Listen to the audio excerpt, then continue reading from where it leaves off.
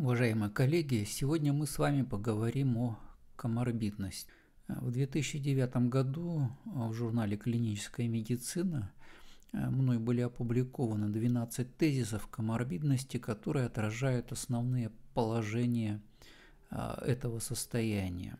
Этой теме я уделял много внимания, и вот недавно в издательстве «Гаотар Медиа» вышло 12 издание книги «Лечение болезней в условиях коморбидности», э, где приведена оригинальная классификация лекарственных препаратов по влиянию на сопутствующие заболевания, и она оказалась э, весьма востребована практикующими врачами.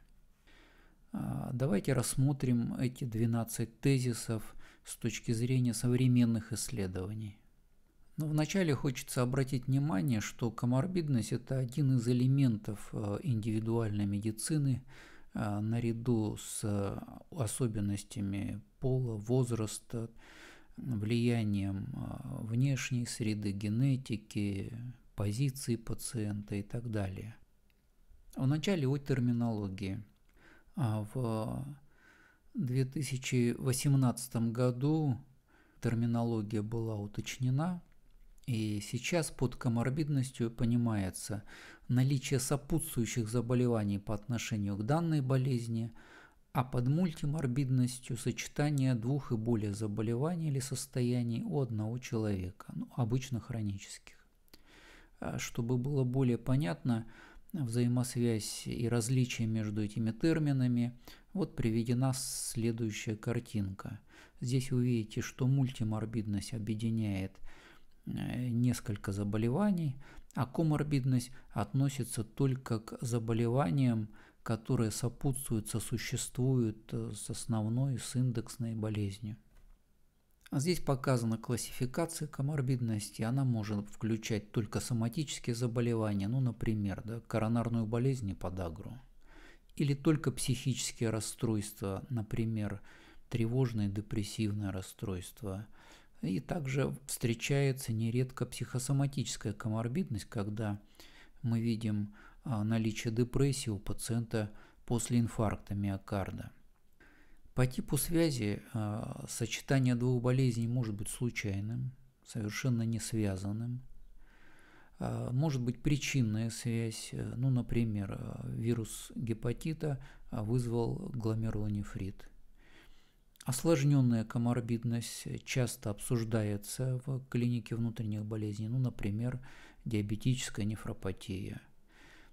И ассоциированная коморбидность, э, так называется связанное э, заболевание и расстройство, механизм и взаимосвязи между которыми не удается точно определить. Ну, вот эти 12 тезисов коморбидности представлены здесь. Давайте более детально рассмотрим и проиллюстрируем а, некоторыми исследованиями. Первое. Коморбидные психические и соматические заболевания встречаются часто, особенно у пожилых и старых пациентов. Ну, вот здесь вам показано исследование, и вы видите то, что известно вам из вашей практики, что чем старше пациент, тем выше вероятность множественных хронических болезней – Особенно высока частота у пациентов пожилого и старческого возраста.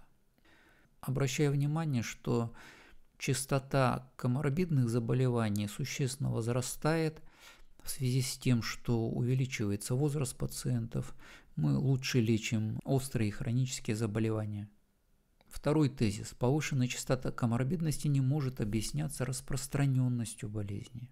Что лежит в основе неслучайного сочетания двух заболеваний? Здесь следует выделить общие факторы риска. Вы знаете, что такие состояния, как ожирение, диабет, гипертензия, курение, дислепидемия играют роль в развитии многих заболеваний, и не только атеросклеротического круга.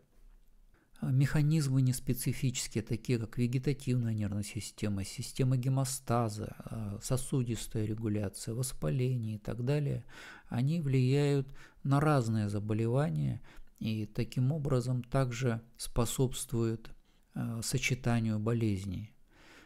Кроме того, следует учитывать и психические факторы и поведенческие, которые также могут повлиять на сочетание двух заболеваний. Ну и, несомненно, а, медикаментозное лечение, которое может и само а, спровоцировать появление заболеваний. Коморбидность включает двунаправленное влияние сочетанных заболеваний. Это очень важное положение, и для многих заболеваний было показано, что одно заболевание способствует появлению другого заболевания и наоборот.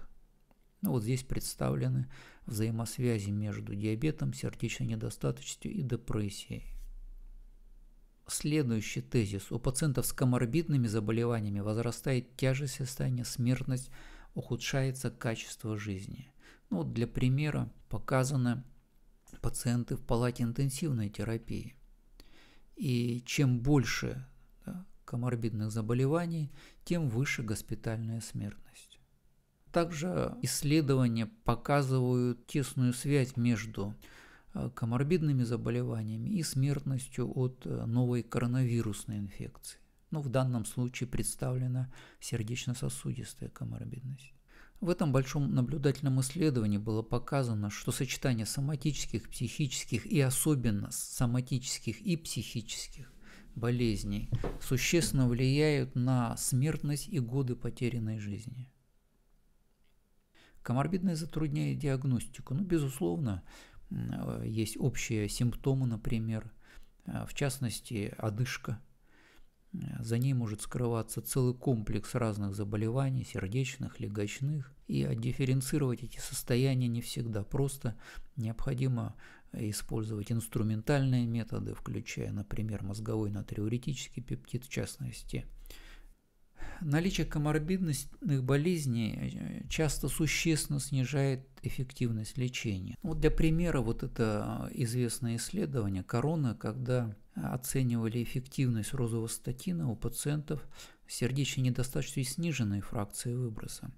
Оказалось, что у данных пациентов э, статины не работают. Лечение болезни может существенно повлиять на э, коморбидные заболевания.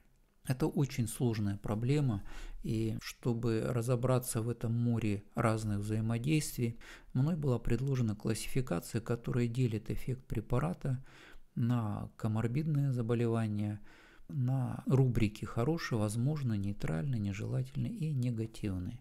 Собственно, на этой классификации и построена книжка лечения болезни в условиях коморбидности.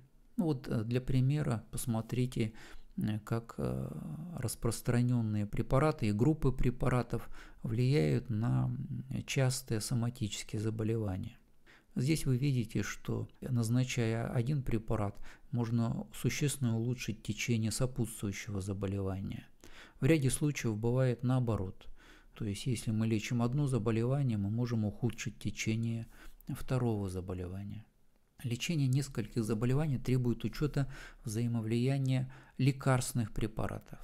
Вот здесь вам показана схема э, метаболизма препаратов.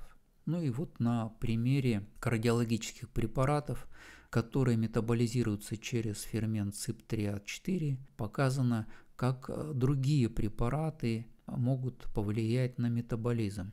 Они могут ускорить метаболизм и таким образом эффект э, будет снижаться, и замедлить метаболизм, что повышает как эффективность, так и риск побочных эффектов. Коморбидность и повышение числа лекарственных препаратов увеличивает риск побочных эффектов, что для врачей, практикующих, очевидно. Ну, вот здесь показано, что чем больше лекарственных препаратов назначенных пациенту с хронической болезнью почек, тем выше риск почной недостаточности, сердечно-судистых событий и общей смертности. Каким образом решать проблему э, полифармакотерапии? А, безусловно, нужно стремиться к минимуму препаратов, которые решают только наиболее важные актуальные задачи на текущий момент времени. Также мы, о чем мы с вами уже говорили, можно использовать препараты, которые обладают многоцелевым действием. Кроме того, с целью повышения приверженности пациентов к лечению, последние годы все чаще используются политаблетки, которые состоят из нескольких лекарственных препаратов, что, однако, безусловно, не снижает проблему полифармакотерапии. Коморбидные болезни снижают приверженность пациентов к лечению. Следующий тезис. Ну, вот здесь вам показано, что чем больше заболеваний у пациента, тем меньше приверженность пациентов к лечению. Это связано в том числе и с полифармакотерапией, это связано в том числе и с влиянием самих нескольких заболеваний, э, переносимостью препаратов и так далее. А коморбидные заболевания значительно увеличивают затраты на лечение, и это большая проблема для здравоохранения даже развитых, обеспеченных стран. Ну вот здесь показано, что если у человека 5 болезней, то дополнительно пациент должен затрачивать из своего кармана почти 2000 долларов, а если 8 болезней, то 3600 долларов. И это существенная нагрузка для пациентов. Здесь следует учитывать, что пациенты с несколькими заболеваниями, мультиморбидные пациенты, это чаще всего пациенты пожилого и старческого возраста, доход которых невелик. И, конечно, говоря о ведении пациентов с мультиморбидными заболеваниями, очень важно, чтобы была продуманная стратегия ведения сочетанных болезней. Но здесь показано, да, что если мы направляем пациентов к разным специалистам, каждый из которых назначит свое лечение, обычно они не учитывают э, сопутствующие заболевания и возникает много проблем, каким образом эти многочисленные препараты следует использовать у данного пациента. По идее, терапевт должен координировать эту ситуацию, Э, что не всегда возможно, поскольку он тоже опасается э, отменить или оптимизировать лечение, назначенное специалистом. Очень важно в стратегии выбирать приоритеты, поскольку нельзя лечить все заболевания и предупреждать их. Это потребует, с одной стороны, колоссальных ресурсов, а с другой стороны, Э, у врача просто нет времени решить все проблемы мультиморбидных пациентов. Но вот здесь исследование показало, что если выполнить э, все рекомендации только по профилактике, то у врача общей практики вообще не хватит времени просто. А есть же еще рекомендации по лечению. Недавно была предложена интегрированная модель лечения мультиморбидности, э, которая включает ряд очень важных положений или компонентов, которые включают регулярное комплексное обследование пациентов, которое проводит э, многопрофильная скоординированная команда, которая работает э, с мультиморбидными пациентами, разрабатывая индивидуальные планы лечения, координируя работу с внешними экспертами, помогая тем, кто ухаживает за этими пациентами – ну вот мы разобрали с вами 12 тезисов коморбидности. А, надеюсь, эта информация для вас будет полезной и спасибо за внимание.